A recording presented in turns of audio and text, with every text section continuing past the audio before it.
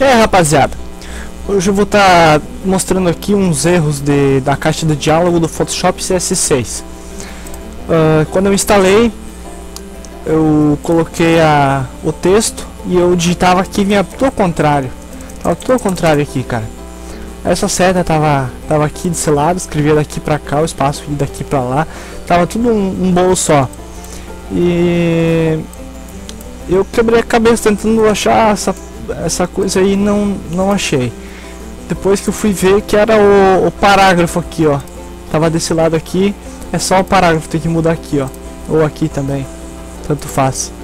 E se a vírgula começa desse lado assim, ó. É, tu tem que vir aqui em